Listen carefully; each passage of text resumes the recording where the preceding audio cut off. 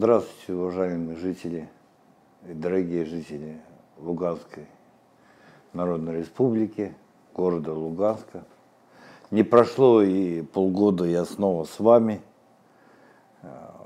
Приехал, чтобы представить свою следующую книгу серии «Меч Тамерлана». В августе мы с вами встречались по поводу книги «Крестьянский сын, дворянская дочь». И это продолжение – мы в Дании разлуки.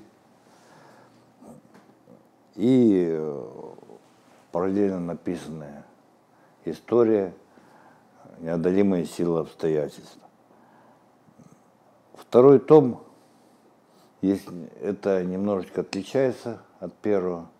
Если в первом томе я больше хотел показать жизнь начала 20 века, то здесь одна моя героиня отправляется в будущее, то есть для того времени это наше время, и пытается адаптироваться в жизни в нашем времени.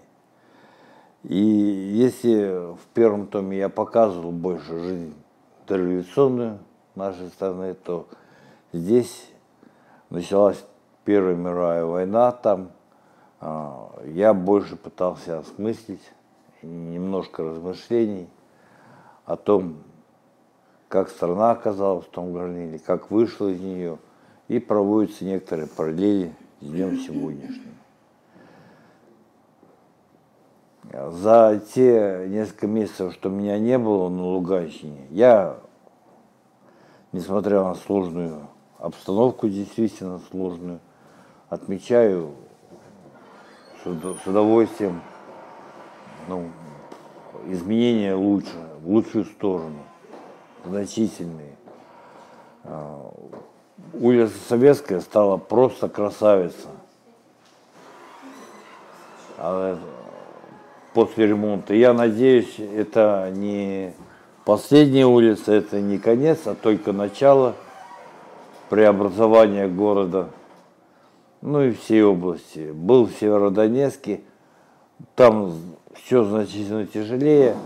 Но тоже обращаю внимание, что ведутся земляные работы, восстанавливаются коммуникации, а, вставляются в окна теплопакеты, город начинает жить жизнью. Появился э, ПСБ банк, появились банкоматы. Да, и, кстати, я был, когда э, жил в Самарской области, у меня есть карта МКС местная, Луганская. Там она не ловила и была не активирована. Я один раз открыл телефон и увидел, что она активирована у меня там. И я из Самарской области по сети МКС позвонил сюда к ребятам на передовую и с ними поговорил. Они говорят, а у тебя что там, ловят МКС в Самаре? Я говорю, да, ловят. Это значит, что вот местная сеть МКС стала целиком адаптирована и к телефонным сетям Российской Федерации. То есть она во многих регионах также активна и также можно из нее позвонить.